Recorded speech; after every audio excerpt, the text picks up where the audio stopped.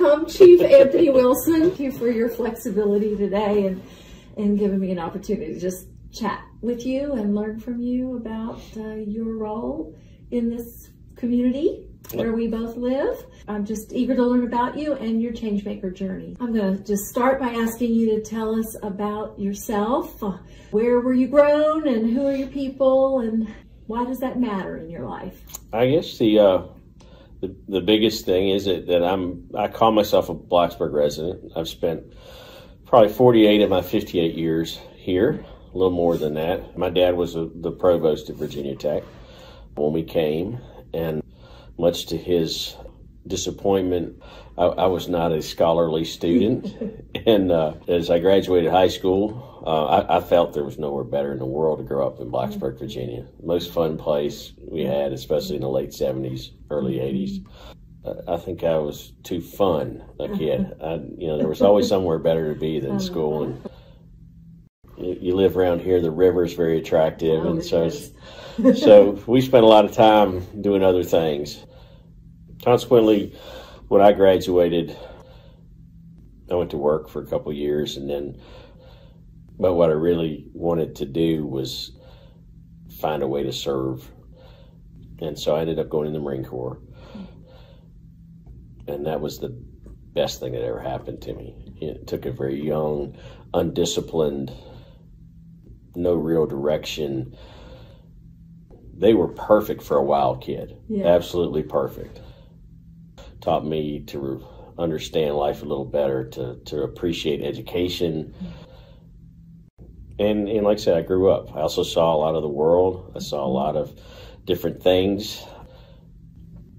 But, you know, one thing that was really uh, important was that no matter where I went, and we, we looked around, I got married at the end of my tour and we looked around of all over the United States. We actually, I got out in California and we, we took our time coming back to see, as a young couple, we had no strings attached and mm-hmm. where would we go? And, and lo and behold, we couldn't find any place better than here.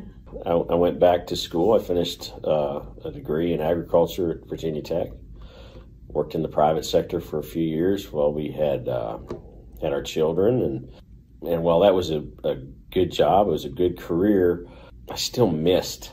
There was a part of me that that really missed serving and being part of a team and being part of something bigger. Mm-hmm. And I started out by joining the fire department, which I've been a member now for 30 years. Mm-hmm. And one day someone said, Why don't you, have you ever thought about being a police officer? And I thought back to my rocky youth and I thought, eh, I'm not sure they would want me to, to, to come but you know, and the, I talked to my wife, and and I basically uh, I quit a forty thousand dollar a year job, and I took this job, which was about I think we made nineteen thousand two hundred dollars. Yeah. Like I said, my wife was a teacher, and I was a police mm-hmm. officer, and and our kids got free lunch. I think till they were in high school. Uh-huh.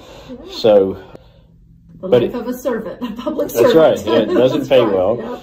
But it, I found it that this is what I'm supposed to be doing. Mm-hmm. This is, you know, you kind of have this revelation that, mm-hmm. that, you know, I, I, was good at this, I was good at that, but this came natural. Mm-hmm.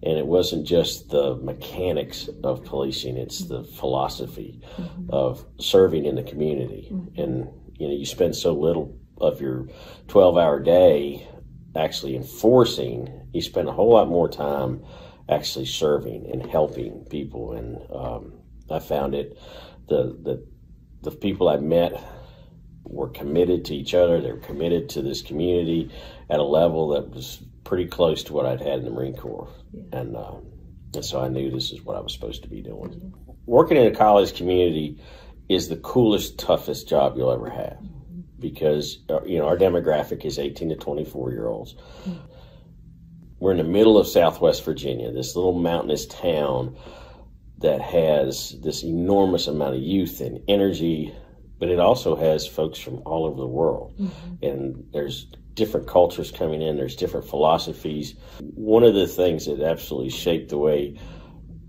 I viewed policing and, and protecting the public came from a very serious event that happened in Blacksburg and on April 16th. And from that, you really try to figure out what the right balance was mm-hmm. because this place has to stay that way. There's no way a college town can become a concentration camp. You know, even when, when horrific violence visits, right. it can't steal the identity and what has to happen in a college right. town. And I always tell when I talk to students, it's like, like this is where you come to get your weird on. Yeah. And, you know, and, and we got to let you get your weird on, you know? so it's, it's, so if you want to sit on the drill field and you want to joust with pool noodles, you know, that's why you're in Blacksburg, yeah. Virginia. But at the same time, we have to protect them. Mm-hmm. So that's, that is a very delicate balance. Mm-hmm. And it's probably the most difficult thing possible. Mm-hmm it was the first part of learning that this is a huge collaborative exercise. Mm-hmm. One of the things tragedy taught me also was is that we look too often through a single lens, mm-hmm. especially in police work. We look through a single lens to, to find solutions when some of the smartest people are standing right beside you, mm-hmm. just simply because they have a different lens. Mm-hmm. And I think that was was a, an enormous part of, of my growing experience as a police leader in Blacksburg. Mm-hmm. He learned to value other cultures and other people's lenses so much. So it's kind of a two way street. Yeah. Is that we provide this setting and they provide this unique experience to, to experience the world kind of in our own little corner of the mm-hmm. earth. That the real solution to your anxiety about world events are locked in community involvement. It's in a local response to. There was a mosque in New Zealand that was attacked, and then relative short period afterwards, there was a synagogue in Pittsburgh. Mm-hmm. We found out that the, the communities of faith all wanted to reach out, but nobody knew an appropriate mm-hmm. measure. Mm-hmm. And nobody really felt comfortable. Like, how do I support this other culture or this mm-hmm. other religious mm-hmm. belief?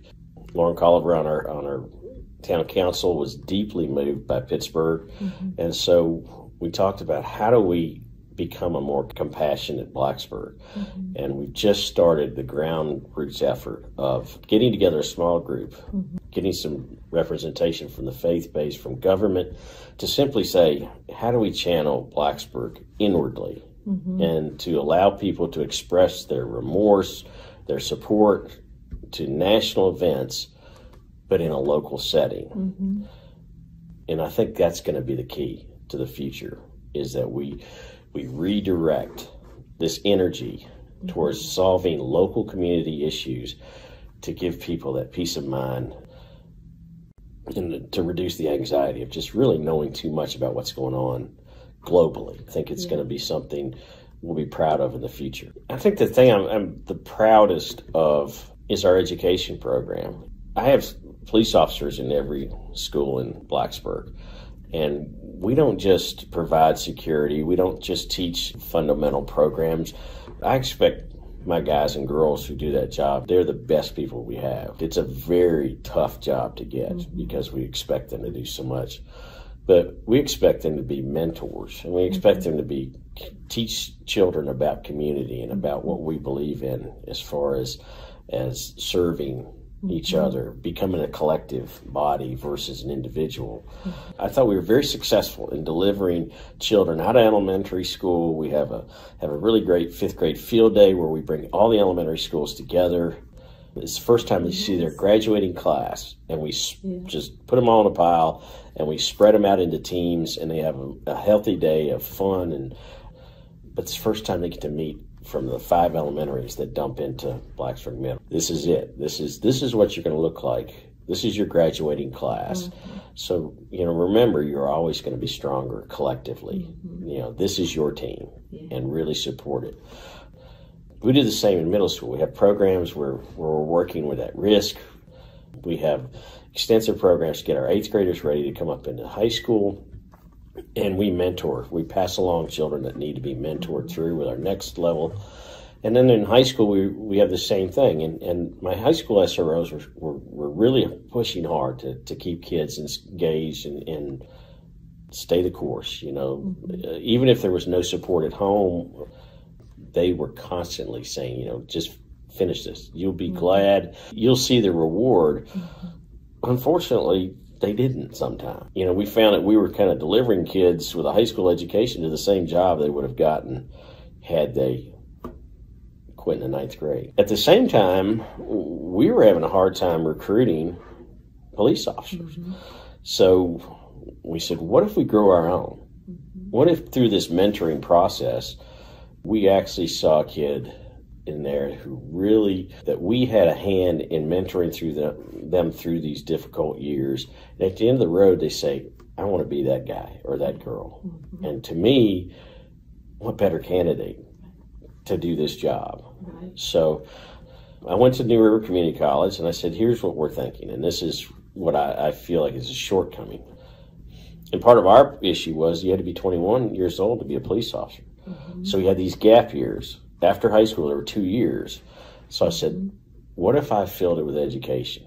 You know, could we create a two year program at New River to fill these two years where these kids will be now eligible for me to hire? Through that little conversation uh, and, and some very strange fundraising. It's it's weird to be a police chief, and they say it's effective to be a fundraiser when you have a gun, but uh, I very rarely get turned down for money. but uh, but it, we raised a quick fifteen thousand dollars and put our first five kids into what was our called Books and Badges program, mm-hmm. and it gave them two years of of college. But it also part of the deal was they had to do eighty hours community service mm-hmm. with us, which gave them an internship with us. It was mm-hmm. between us, Christiansburg Police Department, and the sheriff's office.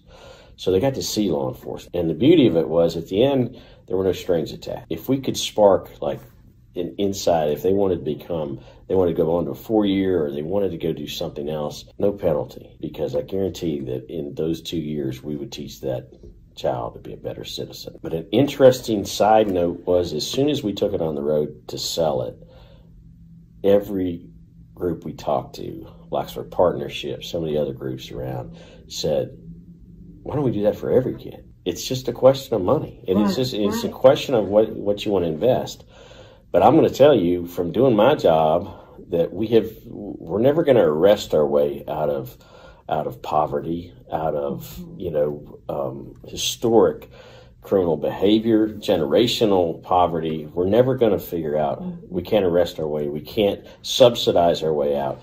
Right. We have to educate our way out. Right. And so, as soon as we started that conversation, we took it to the board of supervisors. Um, we had to show them that we could raise some seed money. Mm-hmm. Um, New River had a very cool fledgling program. The ACE program had just started in Giles County. We took that show on the road, and mm-hmm. today, now every kid in Montgomery County gets a free two-year college education. Yeah. And that, I mean, it's, it's phenomenal, and it's it, yeah. it's I'm getting ready to go on the road. I still do all the community service because it, it's amazing what barriers that, that come up. The county didn't have the capacity to fund a full time position to manage the community service aspect because every kid does 80 hours of community service. I'll do it. I'll do it for two years to get us off the ground for free. And uh, and now I'm. This is going to be my fourth year of doing it, but it's the it's absolutely the best thing I've ever done. Not only do I get to to interact with these kids, right. but I also get to funnel them to some of the best people in our community. And those are the ones who are volunteering uh, for a lifetime. That they say, well, how many of them are actually getting their 80 hours in? I said, the more interesting story is how many are doing 800 who yeah. do it and just say, I just love it. Uh-huh. I work at the uh-huh. animal shelter. I do whatever. I love uh-huh. it. I've never, you know, felt I found my place. We're not only educating them, we're teaching them what it's like to be a citizen in the community. Exactly. There is this huge need for a lot of these technical jobs. Mm-hmm. And we allow the full technical side too. And I was talking to a couple, we went and did a, a promotional video for their instrumentation program at New River. Kids coming out there making eighty to a hundred thousand dollars, two years, uh-huh. no college debt, yes. and they're coming out and they are sought after. Yes. So you know, the, and I can sell that in a high school that there's the, this this brilliant child who's born into this family that does not speak the word college, but I can sell this. I can say, I'll tell you what, you invest two years in this yeah. skill set, and you will be the first generation in your household making six figures. This is simply this is community at its finest. Investing in the most valuable resource that we have. The dialogue on race, you know, we had uh, our law enforcement group really had two charges in the beginning. One was to see if racial profiling existed, and the other was to see if we matched demographically with our African American population, and were were we recruiting and retaining African American to be police officers? We've been doing it since 2013, and we have voluntarily turned over. We collect all our demographic information on all our traffic stops, on all our uh, arrests, and so on, and we analyze them. And it was part of a transparency to say, you know, I, I firmly believe that, that you can be well intentioned and just not well informed Right. if you're not if you're afraid to actually Mm-hmm. look at your data and see what's going on because you realize how complex it is it, it gave us an avenue of dialogue that we've never had but things that have come out of our relationship there this isn't ancient history this is our history chief bill brown who hired me he's one of the, one of the, the guys who mentored me when he's a Yeah. institute graduate Yes. this is all modern history Yeah. so we, we looked at those two charges, and one of the things that pushed us to the Books and Badges program was our dialogue on race. And we're sitting in this room saying we can talk about this all day long, Right. or we can simply build something. Let's build a program that has the mechanism to put the very best kids in our community. And, and, and let's look at what our African American kids to see if we can get some of them interested in Right. serving. Right. And out of this little tiny committee comes this enormous first program. We, we now look at community police relationship. And you notice with all our dialogue on race, we do coffee with a cop and we get to sit down and we get to talk about real issues. Yeah. Where else in Southwest Virginia can you come on a Saturday morning, casual conversation, talk with the Board of Supervisors, the town council members, the school board, the school superintendent, the police chiefs from each of the communities, the s the, sheriff of the community, educators from Virginia Tech. Mm-hmm. You look what you've drawn. This is the hottest meeting in town. If you have any issues going on, our group has has created this opportunity. Yeah. So something's happening. It's an absolutely it's it's been one of the best community driven things that we've done, and um, and I, I I would say a lot of communities who would fear this kind of interaction, especially in a volatile time when police services are being right. being really scrutinized. Right. If you truly are transparent and you truly do care about your community, this is one of the best things we've ever Right. done Yeah. we've invested heavily over the last few years in the spiritual part of this work that you have to believe this is a calling to mm-hmm. do this job effectively. Mm-hmm. You can't you can't come to work and, and clock in and you have to believe you're put on earth to do this mm-hmm. job to effectively do it. 98% of, of the folks who were already working here said you know i feel i was put on earth to do this job and that, that the more I do it, the more I realize that this is what I'm supposed to do, and that's how I can serve at this level. So that told me we have the right core group of folks. So we're operating at this level, Yeah. and so when and and you can you imagine that somebody's somebody's throwing a rock at you that that that you you believe that you are on earth to do this thing, and then all of a sudden there's this uh, your your own community, you know, bucks up a little bit and says you know, we're not sure we like what you guys represent. And your whole identity's tied up. Right. And so it took a lot of navigation to say, you know, public questioning and public, you know, scrutiny is not public, you know, automatically dissatisfaction or disgust or anything else. And so we had to get it off that. And that's a lot of my job Yeah. is to get out here and be a conduit to the public and then also come back and be a conduit to my guys and girls Right. to tell them, hey, you know, while this is a contentious period in, in history, Right. we're blessed. We live in the very best community ever. Yeah. The, the citizens here actually do support us very well. Yeah. And the job you do is very much what they want. Right. So we, we live in a very good place. And I think the, that spirited dialogue is part of it. Yeah. And it's the fact that they say, you know, I, can do it and, and I can defend our commitment and our spiritual connection, Right. but I can also listen and because there's there's total validity in what I'm hearing from the other side of the Yeah. coin. So Yes. it's that's true transparency Yeah. is to be able to do that. We're growing as a mm-hmm. community. We have to build the community that they want to emulate when they mm-hmm. go somewhere else. Mm-hmm. It's our mission, you know, and while while there's so many hours and so many curriculum things that have to happen to graduate Right. and get a diploma, we have the whole other side of the coin, and that is how do we want to, how do we want these little seeds to spread throughout the world, and that's that is probably the most interesting part of this dynamic is that mm-hmm. we have we have this opportunity to do something so huge, Yeah. so magnificent because we get a constant flow of these folks coming in from all over the world. And if we just simply strive to do it better here, if this is the best four years on the planet, Mhm. I guarantee the majority of them will go out, and if they can't seek it out, they'll create it. I give you a set of about five or six rules, and you tell me whether you want to be policed or protected by how well you adhere to these rules. Mhm. And uh, so far, you do a magnificent job. Mhm. And so they say, "Yeah, that's that's." I said, "But think about that as a as a total parameter. Mhm. That don't you like having that kind of power over that you can tell, you know, how much of my freedom I want to encroach upon, how much I want to be policed or protected, Mhm. and that's your right as a citizen. And we're practicing that every day. Mhm. And you see what happens when you guys and girls do such a, a fantastic job, which they do, of simply taking responsibility, taking your safety seriously, and then the police are simply there as a resource to protect you. Mhm. And they leave there going, wow, that's not just game day. Yeah.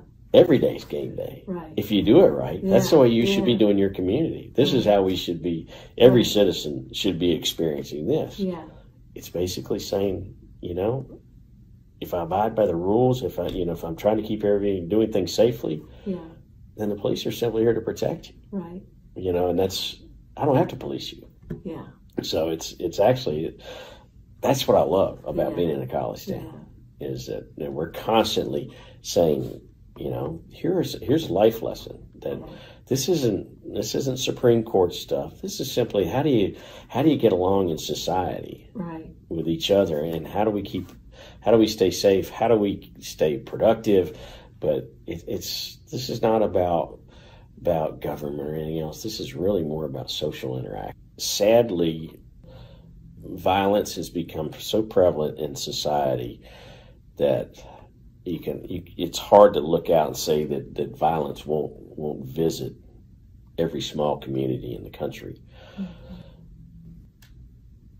we learned from ours Mhm. and while it was horrific, while it was the darkest time on earth, we thought, it actually was the most revealing time. And and like I said, the April sixteenth was was the darkest day. The seventeenth was the brightest.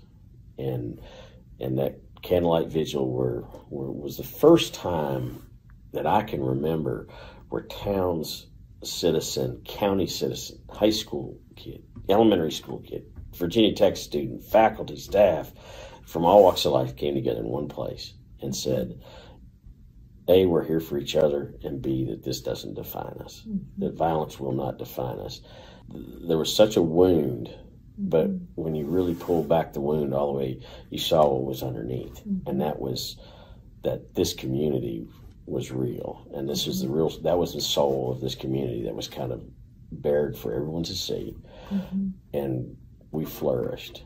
Even though times were going to get rougher afterwards, we had Right. some rough seas, but now our sense of community is palpable. When tragedy, you know, hits your community, look for the opportunity to see what you really are Yeah. and embrace there will be a positive side. And if you embrace that it can become what you are.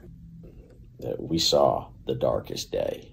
Mm-hmm. And and all i remember about the darkest day is that i saw the brightest day 24 hours later Música